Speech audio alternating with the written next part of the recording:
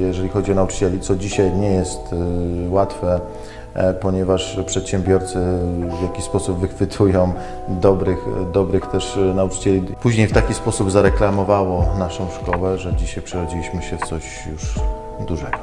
Faków, y, no, sport jest ważnym elementem, także kształtującym charakter. Dzień dobry drodzy widzowie. Dzisiaj naszym gościem w studiu jest ksiądz Adam Kraska. Witam serdecznie. Szczęść Boże. E, e, ksiądz jest polskim duchownym rzymskokatolickim, ale również poetą, doktorem teologii dogmatycznej e, oraz nieprzypadkowo, tak myślę, duszpasterzem nauczycieli oraz wychowawców naszej diecezji kaliskiej. E, Mówię nieprzypadkowo, bo w 2017 roku objął ksiądz również stanowisko dyrektora technikum imienia świętego Józefa w Kaliszu, które powstało przy ulicy Złotej. E, Dokładnie. Szkoła ta jest niepubliczna i powstała z inicjatywy biskupa Edwarda Janiaka. Tak jest.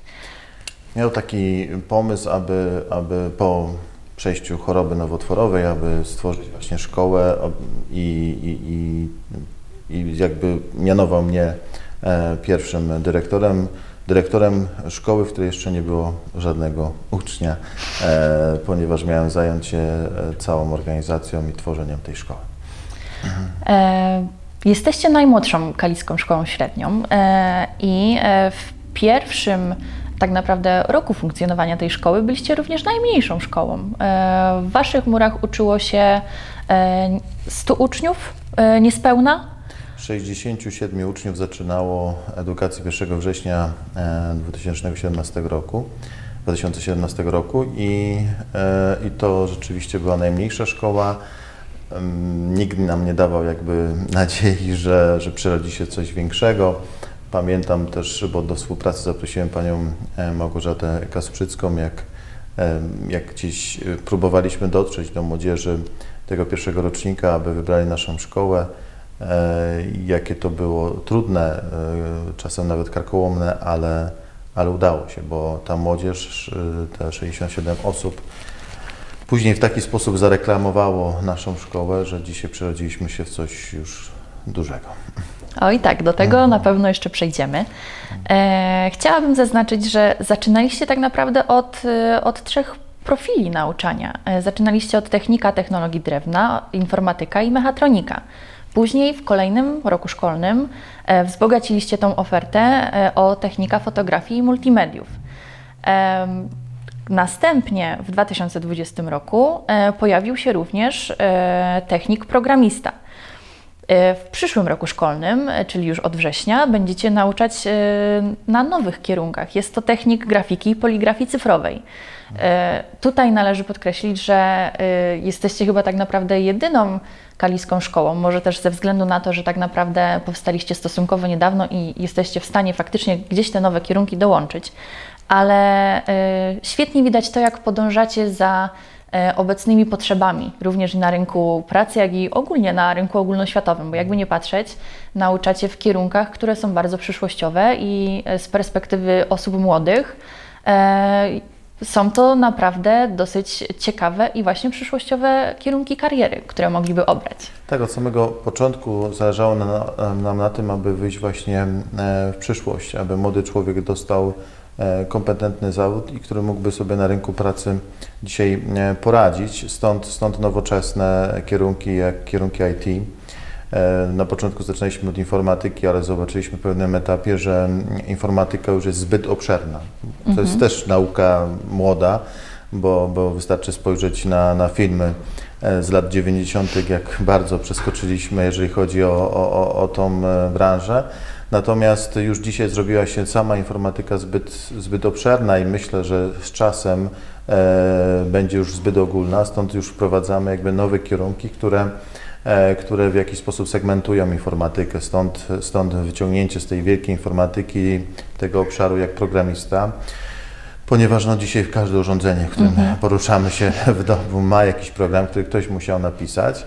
E, e, Stąd, stąd właśnie wyjście do mechatroniki, bo już zwykła mechanika to już też e, prehistoria, a, a dalej robotyka, gdzie, gdzie, gdzie właśnie E, Już myślę, że z czasem e, będą, no już wchodzą do przemysłu roboty, które, które w jakiś sposób mają zastąpić e, cz- człowieka, chociaż nie do końca, bo ten człowiek zawsze będzie potrzebny. I myślę, że ja to też tłumaczę młodzieży, że, że, że dożyliśmy czasów, że, że to wy wybieracie i tak naprawdę będą takie dwa podstawowe zawody. Oczywiście w- każdy będzie, zawody zostaną, ale, ale będzie trzeba się zastanowić, czy chce być nad robotem, czy pod robotem. To znaczy chce programować i tworzyć roboty nowoczesne e, i być osobą, która jakby e, tworzy ten robot, czy ten, kto wykonuje czynności już od, pod robotem, czyli, czyli podkłada mu materiały i te materiały odbiera. I, i, I chcemy właśnie tworzyć e, taki zasób młodych ludzi, bardzo inteligentnych, dobrych w zawodzie, w którym, w którym właśnie ten, ten, e, ten e, właśnie e, ta, ta specjalność będzie u nich dominować. Z tych wszystkich jakby nowoczesnych zawodów jest jeden stary, jest to technologia drewna. E, i muszę powiedzieć, że z tym od samego początku była trudność, żeby w jakiś sposób przekonać młodego człowieka, ale już od dwóch lat i ten rok też to potwierdza, coraz więcej młodzieży wybiera technologię drewna ze względu na, na mm, ludzie y, coraz więcej kochają pracę w drewnie. To uspokaja. Zresztą, zresztą wróciły do łask y, meble, e, czy w jakiś sposób e, nawet w łazienkach y, kafelki imitujące drewno, które drewno w jakiś sposób powoduje ład i, i uspokaja człowieka. E, I stąd, stąd właśnie, właśnie też ten kierunek którym Kaliszu było trudno, ale, ale coraz bardziej młodzież się do tego kierunku przekonuje. Otworzyliśmy w tym roku też warsztaty technologii drewna, gdzie młodzież już będzie przy szkole uczyć się tego fachu i, i myślę, że myślę, że, że e, teraz mogę powiedzieć, że to również zaowocowało. E, Jeśli chodzi o samą szkołę ogólnie, e, młodzież, nie ma co ukrywać, bardzo sobie raz, że chwali ogólnie jakość oferowanych zajęć, e, jak e, i tak naprawdę później owoce e, tychże zajęć. Fajnie można to zaobserwować chociażby na przykładzie absolwentów, którzy już opuścili tą szkołę. Były to bodajże już dwa czy trzy roczniki, które miały okazję zakończyć swoją edukację na, na poziomie szkoły średniej. E, I widać, że oni faktycznie odnoszą sukcesy e, już na wyższym szczeblu. E, powybierali sobie takie, a nie inne właśnie kariery. Mm, Proszę mi powiedzieć, w czym ksiądz upatruje sukcesu swojej szkoły i właśnie tych wysokich wyników osiąganych przez swoich uczniów? Bo funkcjonujecie tak naprawdę od kilku lat, ale tych sukcesów nie brakuje. Są to różne konkursy, olimpiady. E, Ta młodzież widać, że e, jest bardzo chętna na uczestniczenie w tego typu e, właśnie olimpiadach czy konkursach i widać, że ma świetne zaplecze, żeby na tych olimpiadach i konkursach sięgać tak naprawdę po podium. Z jednej strony, z jednej strony to, co tworzy szkołę, to ludzie. Udało nam się zgromadzić naprawdę dobrych fachowców, e, jeżeli chodzi o nauczycieli, co dzisiaj nie jest e, łatwe, e, ponieważ przedsiębiorcy w jakiś sposób wychwytują dobrych, dobrych też e, nauczycieli i, nie, uk- nie ukrywajmy, że, szkoła nie może oferować aż takich kwot pieniężnych, jak na przykład przedsiębiorstwo, ale udało nam się naprawdę e, stworzyć rzeczowych i, profesjonalną kadrę i to oni w jakiś sposób tworzą trzon tej, tej szkoły. Kiedyś spotkałem się z takimi słowami, że szkołę można otworzyć nawet gdzieś tam w stodole, bo najważniejsi w szkole są ludzie i, i to jest chyba ważne. Natomiast też e, no, z tym rozwojem na pewno musiała też iść rozwój e, placówki. Pamiętam jak zaczynaliśmy, to były trzy sale, jedna informatyczna. E, Dzisiaj, e, dzisiaj właśnie tych sal już jest informatycznych 10. I, i, i, rozkład, i, i- rozbudowa szkoły i tworzenie mm, nowych e, sal lekcyjnych, no to było nie lada wyzwanie. Stąd, stąd e, trudno było nam gdzieś wygospodarować te pieniądze z diecezji, dlatego postanowiliśmy wejść w różnego rodzaju projekty. I tutaj też zgromadziliśmy sztab ludzi, którzy nam w tym w jakiś sposób pomogli e, uzyskiwać te, te e, e, fundusze, bo bez nich, bez nich no nie dalibyśmy rozwoju, rozwijać także naszej, naszej szkoły. Złośliwie mówią, że, że, że my dostaniemy, a czemu inni nie dostają, ale na przykład teraz był taki program na ekopracownię e, e, przy, przy Wielkopolskim, e, Wielkopol, e, Enfoś Wielkopolski organizował e, konkurs i proszę sobie wyobrazić, że z, całego Kalisza tylko my zgłosiliśmy się z projektem, tak? Więc, więc y, można zac- y, zakasać rękaw i, i zazdrościć wszystkim, albo można się wziąć gdzieś tam do pracy i szukać, i, bo, bo człowiek y, y, widzi tylko efekt, a ile to jest pracy, to, to, to tylko my tam w środku wiemy.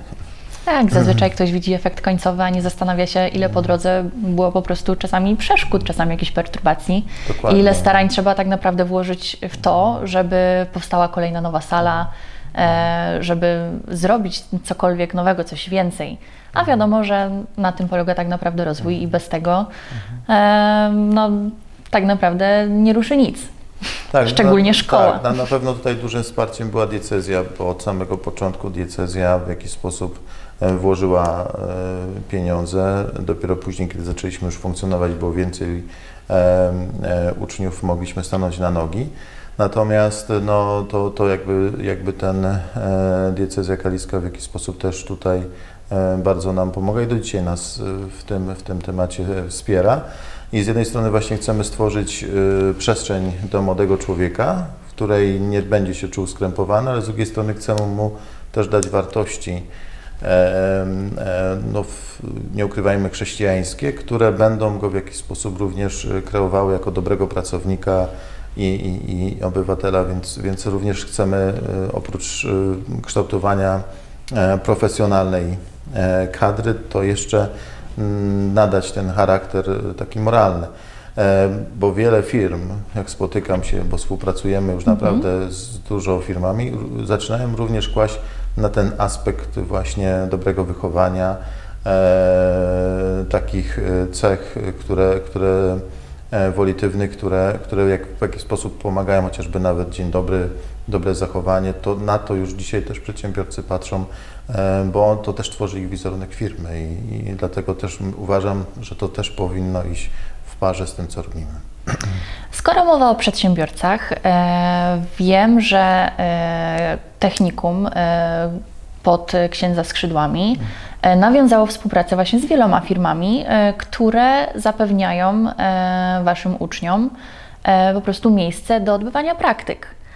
E, Czy to jest też właśnie taki spory e, atut Waszej szkoły, że ci uczniowie tak naprawdę nie muszą martwić się tym, gdzie te praktyki później odbędą, bo po prostu wiedzą, że nie dość, nie dość że otrzymają wysokiej jakości edukację, to mają gdzie później ją sprawdzić faktycznie w praktyce. Znaczy, na, pewno w aspekcie współpracy szkoły z przedsiębiorstwami musimy jeszcze się wiele nauczyć. To widzę od przedsiębiorców, że, że, że optyka się zmienia i w dobrym kierunku, że im zależy na szkołach. Kiedyś, kiedyś podchodzili do tego typowo biznesowo, co ja z tego będę miał, a dzisiaj, dzisiaj podchodzą do tego, że dobra, udało nam się wejść na rynek, osiągamy jakieś sukcesy, możemy coś zrobić też dla młodego człowieka, a może też do nas przyjdzie. I wiele zakładów tutaj kaliskich właśnie już w ten sposób zaczyna patrzeć na, e, na szkołę. I e, wyszliśmy tutaj z dosyć nowatorskimi pewnymi elementami współpracy, jak szt- kształcenie dualne, gdzie, gdzie młodzież raz w tygodniu e, jedzie do, do, do firmy e, i tam e, może e, zobaczyć zakład. Od razu to jest inaczej, jak on zobaczy w praktyce, a nie tylko za książkami e, pewne urządzenia, które pracują w konkretnej, w konkretnej firmie, więc, więc współpracujemy na zasadzie staży. Bardzo dużo młodzieży w tym roku poszło na miesiąc na, na, na, do pracy, żeby sobie zapracować na wakacje. E, więc, więc bardzo, bardzo e, fajna, fajna rzecz. E, Przyjeżdżają do nas firmy, kiedy już spotykają się z absolwentami, oferują im różnego rodzaju staże, a także, a także pracę. Więc to, to wszystko powoduje to, że, że, że rzeczywiście ten człowiek, bo my musimy w edukacji sprawić, że, że jeżeli będziesz dobry w tym, co robisz, to też możesz osiągnąć sukces i, i także ten finansowy.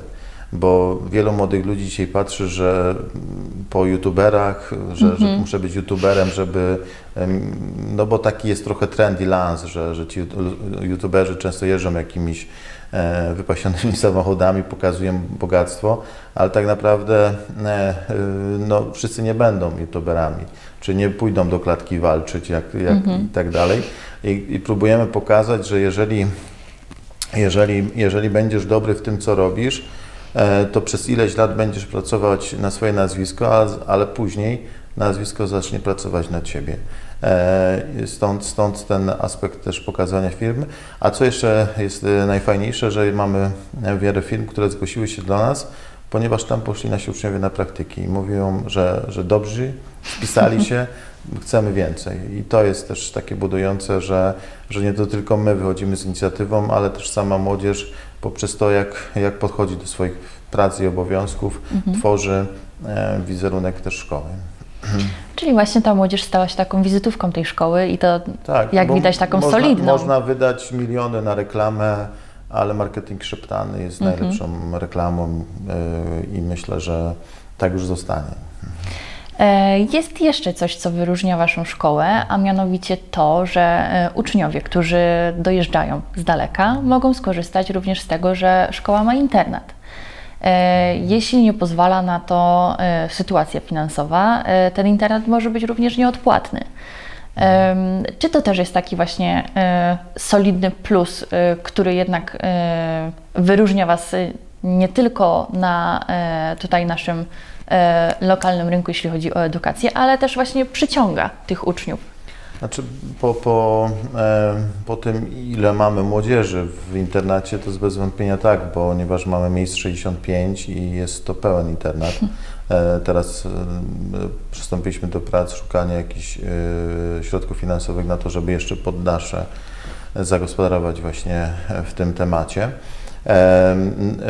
Teraz e, wiadomo, że, że młodzież e, co prawda może nie ma daleko do Kalisza, ale sposób połączenia z Kaliszem jest tak trudny, że e, i, i, i pie- pieniądze trzeba wydać na bilety, że, że bardziej opłaca się zamieszkać w internacie. I też widzimy mm, właśnie przez to, że, że brakuje w Kaliszu miejsc takich tanich, dobrych noclegów, w sensie, w sensie w czasie wakacji też wynajmujemy internat i widzimy, że czasem kluby sportowe czy inne e, e, drużyny no nie stać ich, żeby wynająć w hotelu e, tej nocy, przyjeżdżają e, do nas, więc, więc e, to też jest, e, zresztą bursa miejska jest też przepełniona ze względu również na, na e, tutaj SMS-y, które powstały, jeżeli chodzi o ręczną i, i siatkówkę. Więc, więc to powoduje to, że, że brakuje tych miejsc i to na pewno jest dla nas e, im plus, że, że ta młodzież również e, w jakiś sposób zapełnia internat. Także do tego przyczyniają się również e, dzieci z, Ukrainy. Tak? Mamy czwórkę dzieci, których rodzice nadal są na Ukrainie. Mm, Trudno im tutaj się przedostać, bo nie wiem, ojciec pracuje albo jest na froncie. Dlatego też to powoduje również y, ten, ten plus, że one mogą tutaj w jakiś sposób pod opieką bezpiecznie e, się kształcić. E, Skoro napomknęliśmy też już tutaj o e, sporcie i o różnych klubach sportowych, które gdzieś tam korzystają może i faktycznie z tego internatu, to chciałabym zapytać o to, jak to się stało, że ksiądz nawiązał współpracę z Akademią Sportową Amber, gdzie wiem, że ta współpraca e, jest bardzo owocna. E, członkowie tego klubu e, trenują sobie na boisku obok e, technikum. E, Dzięki Wam e, mogli też zacząć ćwiczyć w godzinach wieczornych, bo pojawiło się odpowiednie oświetlenie ku temu. E, Jak to się stało, że po prostu technikum, które tak naprawdę e, nie jest e, może stricte profilowo ukierunkowane na sport, nawiązało taką, a nie inną współpracę?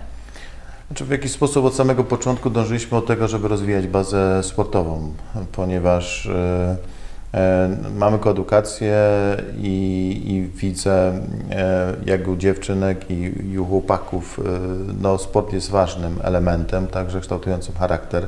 Zawsze denerwuję się, jak ktoś tam przynosi zwolnienia lekarskie, bo uważam, że tutaj jest porażka, że że chyba jesteśmy jedynym z nielicznych krajów w Europie, gdzie ktoś, kto przynosi niepełnosprawny, ma, jest w jakiś sposób niepełnosprawny, nie może ćwiczyć na WF-ie. Może nie wykonywać pewnych czynności, których nie może, ale powinien jeszcze więcej ćwiczyć, żeby wrócić do pełnej sprawności.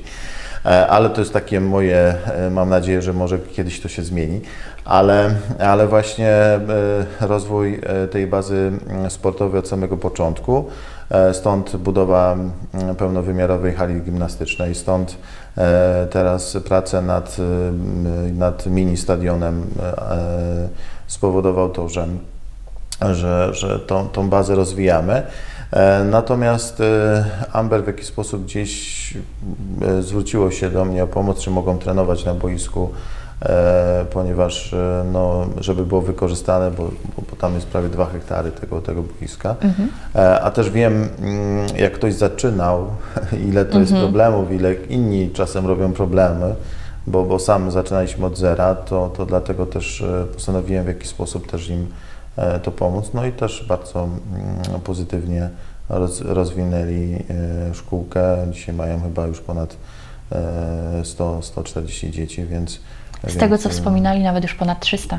Aha, no to może się zatrzymałem na tych danych, danych ale, ale no to też powoduje e, to, e, to że, że właśnie ta baza jest, jest duża, odpowiednia i, i, i, świetnie, niech to się rozwija. Uważam, że, że skoro, skoro mamy coś takiego, możemy się tym dzielić, a w jakiś sposób ktoś może również nam za to pomóc w utrzymaniu, to, to tym bardziej to jest na plus.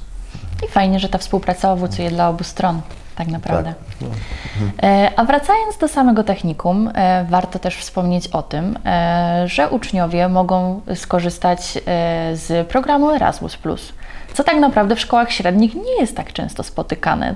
To zazwyczaj kojarzymy gdzieś już z poziomem szkół wyższych.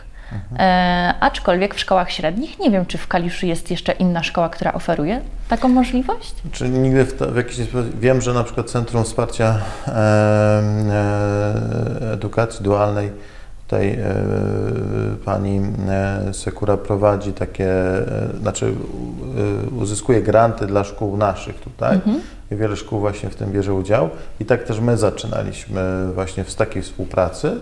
E, Ale, ale e, nauczyliśmy się i zaczęliśmy robić to sami i udało się nam dwa lata temu e, uzyskać akredytację Erasmusa, to znaczy, że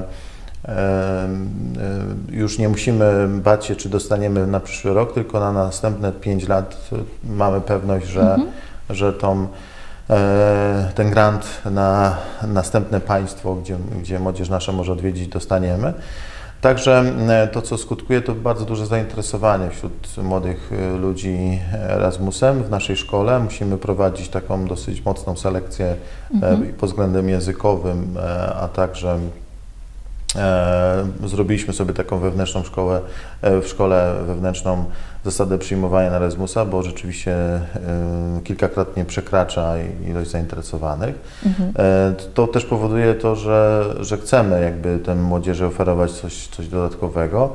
No i łącznie już e, nasza młodzież odwiedziła i, i Włochy, Sycylię, i Portugalię, i Hiszpanię, teraz byli w Grecji, więc, więc teraz myślimy o przyszłym roku o Cyprze, więc, więc to, to powoduje to, że oni mogą również rozwijać horyzonty. Czasem w tych krajach m, przemysł jest gorszy niż u nas, że, że te praktyki nawet się troszeczkę mogą rozczarować, ale to zawsze e, zmiana horyzontów i tak dalej. To, co my zawsze przy Erasmusie, patrząc na naszą młodzież, buduje, to to, że, że naprawdę e, jadą osoby, które dziś dobrą są wizytówką naszej ojczyzny, ponieważ to są młodzi ludzie, którzy potrafią świetnie komunikować się po angielsku, potrafią zachować się już w otoczeniu i naprawdę już z czasem biją na głowę mm, e, i młodzież już europejską. I to powoduje to, że, że, że, że, zmienia się ten trend, że nie musimy być już e, wstydzić tego, że jesteśmy Polakami gdzieś za granicą, bo naprawdę ci, ci młodzi ludzie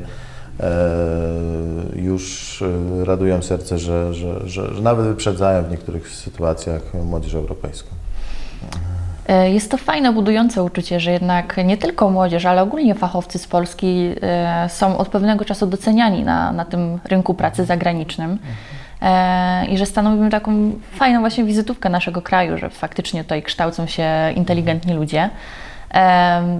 Podróże też kształcą, więc nawet jeśli te praktyki może gdzieś są na, na niższym poziomie niż ci uczniowie by faktycznie oczekiwali, to myślę, że, że samo otwarcie się na tak naprawdę czasami nową, nową kulturę, zupełnie inną rzeczywistość, e, daje im świetne doświadczenie na przyszłość, więc tutaj e, bardzo się cieszę, że w Pańskim Technikum właśnie taka możliwość istnieje.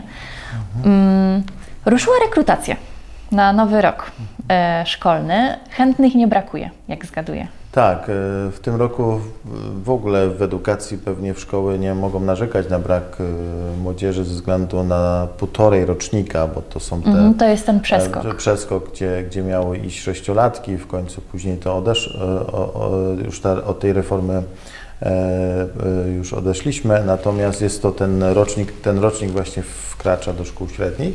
Stąd, stąd mieliśmy prawie pół tysiąca podań do, do szkoły, z czego możemy przyjąć jakieś 200 osób.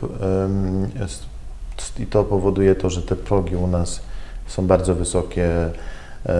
Na te kierunki jak programista to tam jest około próg 150 punktów, to jest naprawdę już bardzo wysoki. Mhm. E, Chciałbym tu zauważyć, że to jest próg ostatniego, który się dostał, Mhm. czyli wszyscy inni mają więcej. No to na pewno jest to, to coś, co, co, co raduje, że nasza szkoła cieszy się dużym zainteresowaniem, że po prostu chcą, chcą przyjść e, do, do, do naszej szkoły. I myślę, że to jest też taki dobry trend e, w ogóle w społeczeństwie, czy tutaj w naszej okolicy, e, że zaczynamy myśleć, że jednak technikum jest też dobrą, dobrym wyborem, ponieważ e, technikum nie zamyka e, drogi na studia, e, a wręcz pomaga, ponieważ jeżeli młody człowiek chce wybrać sobie później jakiś kierunek typowo już związany z zawodem, to, to na pewno już jest o krok do przodu. Jeżeli pójdzie w tym samym zawodzie na Politechnikę, to, to, to bez wątpienia oni mają około 1050 godzin zawodowych przedmiotów przez 5 lat, to, to, to nawet gdyby tam tylko siedział, nic nie robił, to coś tam będzie więcej wiedział niż ten e, uczeń z liceum, tak? E, więc, więc, e, więc to jest ten plus, e, a ma też już w, w zawód, tak? I to jest, to jest bardzo, bardzo fajne rozwiązanie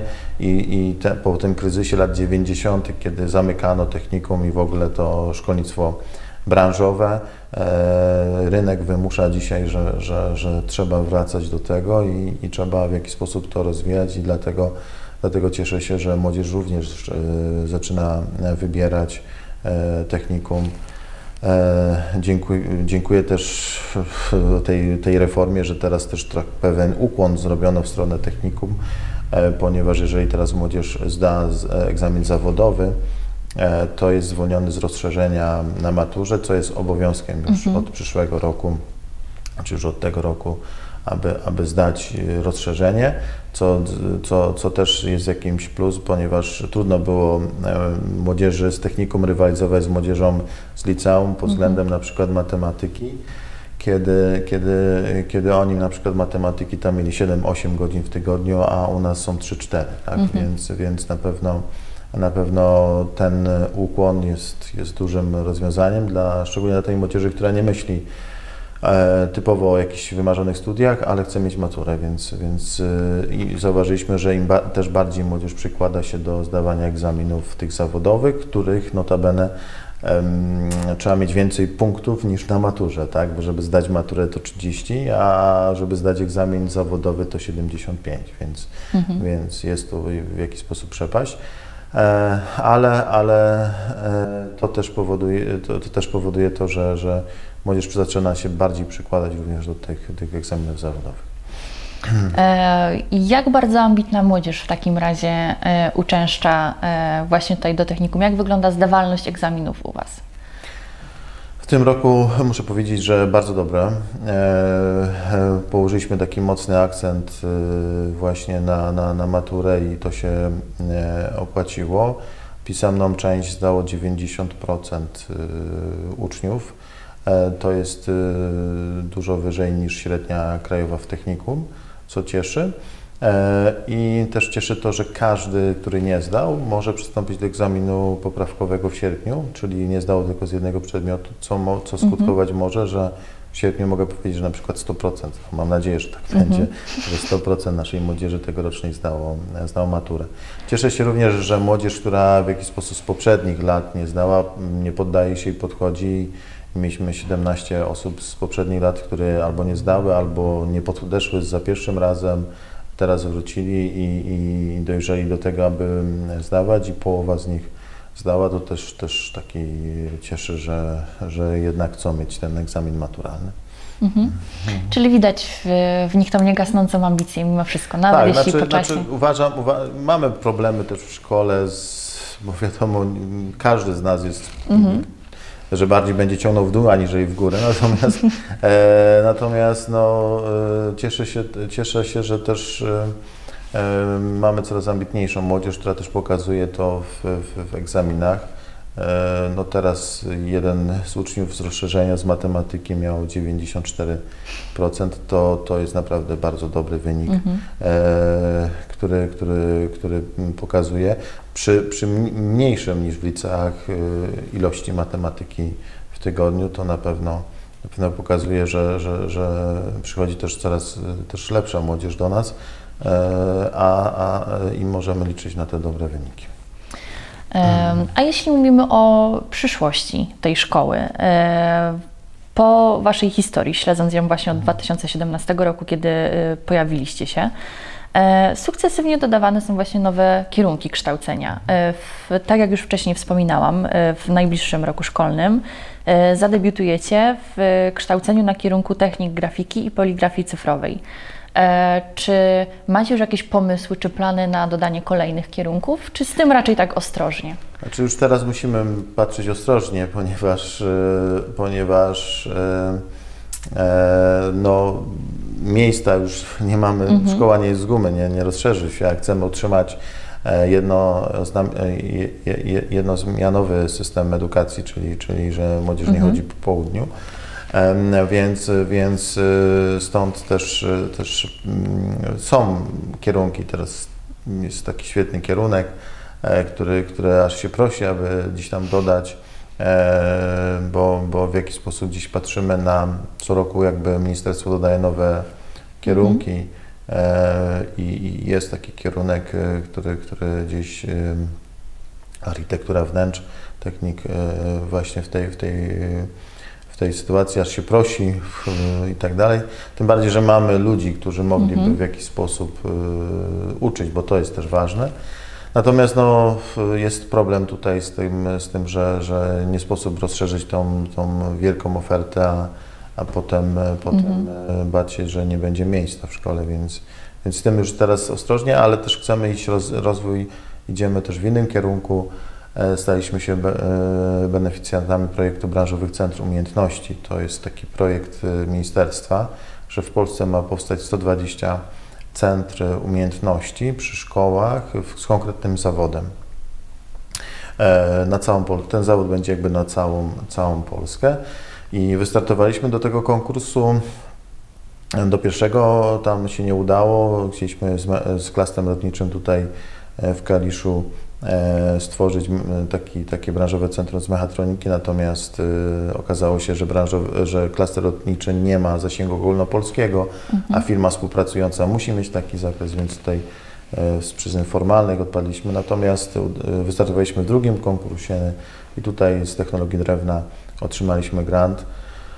Więc ruszy to ro, trochę rozbudowa szkoły e, i też będziemy chcieli kształcić nie tylko młodzież, ale również e, osoby e, już do, do branży tej technologii drewna. Chcemy, chcemy właśnie też rozwijać szkołę w takim aspekcie. W takim razie, czego można życzyć księdzu jako dyrektorowi takiej placówki na przyszłość? Chyba to, co każdemu rodzicowi dobrej, dobrych dzieci i, i też e, myślę, że, że, że, że, tego, to, co tu już wypłynęło, że, że tu nie chodzi o to, żeby one się czuły jakby wdzięczne szkole i nie wiadomo za co, ale żeby po prostu poszły w świat i, i, i były, byli dobrzy w tym, co robią.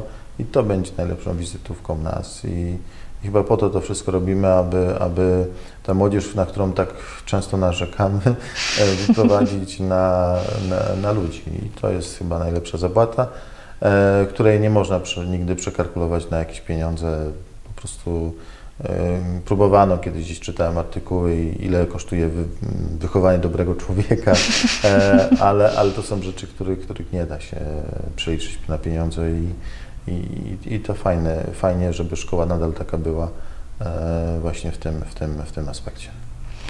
W takim razie życzę tego, żeby właśnie Pańska szkoła rozwijała się w takim kierunku i kształciła tych młodych ludzi tak dobrze, jak tylko się da.